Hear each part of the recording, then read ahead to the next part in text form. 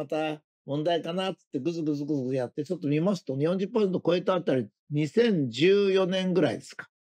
まあその頃、もう一回ドンと増え出すんですね。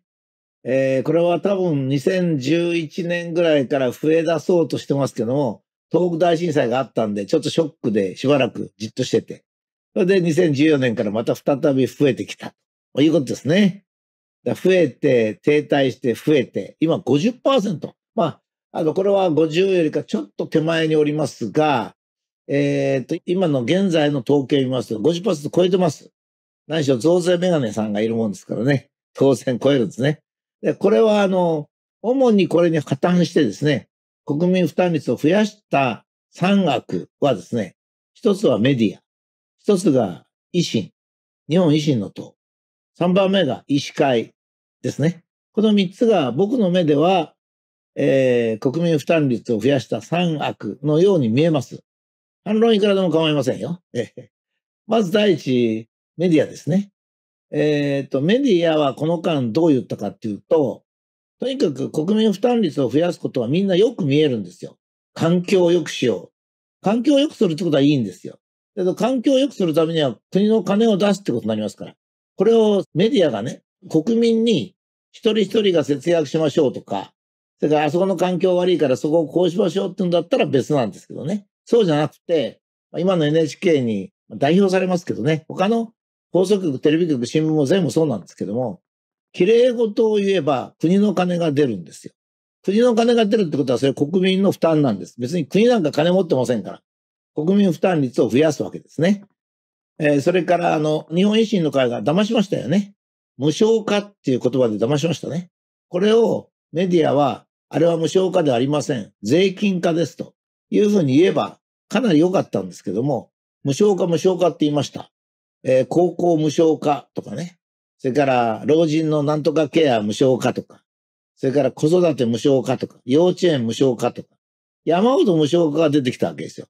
無償化をやるたびに国民負担率増えますから。つまり自分が使う金が少なくなって、国が使うわけですから、その分税金だとか年金だとかそういうの全部取られますからね。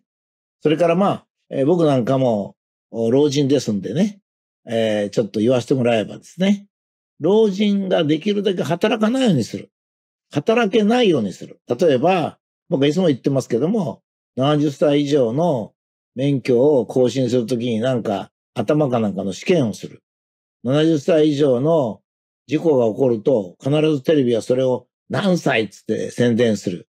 しかし僕がデータを整理してみると、アクセルとブレーキの踏み間違いが一番多いのは20歳代ですし、事故率の一番高いのも20歳代ですし、それから女性に怒られるかもしれませんが、女性の運転の車の事故率は男性の1.5倍です。もう全然70歳とか80歳と比較になりません。しかしこれもメディアがですね、老人が事故を起こした時には放送します。それで、何歳、何歳って言いますね。池袋の事件、池袋の事件って言いますけども、もちろん池袋の事件は悲惨でした。だけど、あれよりか悲惨な事故っていうのは、20歳代でいくらでもあるんですよ。ところが、もう今70歳代はほとんど運転できない状態なんです。なんでかって言ったら、もう十分に能力はあるんですよ。だけども、事故を起こしたらものすごく叩かれますから、もうしょうがないからやめようかっていう人が多いんですね。ところが、70歳代で、例えば僕の近くにもクリーニング屋さんの親父さんがいますね。当然70歳代以上でやってるんですよ。で、クリーニング屋ですから、どうしても軽自動車で運ばなきゃいけないんですよ。衣類をね。それやっておられるんですよ。できなくなりました。こういうふうにですね、例えば年金の問題であれば、社会は今ね、メディアの関係でものすごくぐちゃぐちゃになってるんですよ。もうものすごくぐちゃぐちゃ。ね。老人に仕事をできないようにして、年金が高くなったっていうんですよ。それから医療もそうですね。血圧は全然寿命に関係ない。禁煙運動が盛んになったら肺がんが7倍になった。逆ですね。だからご飯を食べなくなると糖尿病が増える。これ逆ですね。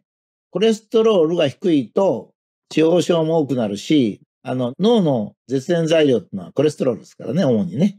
細胞膜も弱くなりますので、疾病が多くなりますね。データはちゃんとそうなってます。私、自分の考え言ってんじゃないですよ。医学会が出すデータを整理するとそうなってます。しかし、メディアは全く逆のことを言います。そうすると医療費が上がります。医師会はそれをよく知ってるけども、医療費が上がれば儲かりますからね。私が虎ノ門ニュースで、まあ私はもうそのまま事実を言ってるんで、武田は何言ってんだっていうのほとんどはね、武田は NHK と違うことを言ってるっていうだけなんですよ。で、NHK は何しろ人から金取るの平気ですからね。だから、その組み合わせなんですよ。だから、国民負担率が増えてる3悪っていうのはですね、結局政府、メディア、それから医師会などなんです。これはなどですね。医師会は典型的ですからね。お医者さんとは本当にちゃんとしてるんです。日本のお医者さん特にちゃんとしてます。だから医師会がこういう金まみれでやったらいけないんですよ。だから僕は虎ノ門ニュースの時に人工腎臓の話をしたんですね。人工腎臓は500万ぐらい国から補助が出るんです。ところが、人工腎臓じゃない我々重症の腎臓患者さんは出ないんです。自己負担。まあ、自己負担だって、まあ、健康保険と3割自己負担とか2割自己負担ということになるんですけども、まあ、それなんですね。そうすると、医者がね、あなた人工腎臓の方がいいですよ。ただでやりますからって言って、腎臓を悪い方向にする。医者なのに腎臓が悪い方向にするんですよ。それを虎ノ門で事実を指摘したら、わーんとね、医者から猛烈な攻撃がありました。じゃあその時の、その番組の経営者がですね、もう一回僕はやらせてくれますかって言ったら、やらせてあげるって言うから、次の回の時に個別の病院名も出してやったんですよ。僕の調査結果をね、したらゼロになりました。あれだけ来てた医者からのクレームがゼロになりました。だけど何が残ったかと、武田は変な奴だという噂だけ残りました。っていうのは、武田が変な奴だっていう信用を失わせることはできます。事実を指摘することは全くできなくなります。まあ、それがね、現在なんですね。この前の参政党もちょっとそういうことあったんですね。僕が参政党に要求したのは、選挙前に国民に言ったことを守ってくださいね。一つは言ったことはやってくださいね。二つ目は民主的に党を運用してくださいね。この二つしか僕は賛成党に言ってないんですよ。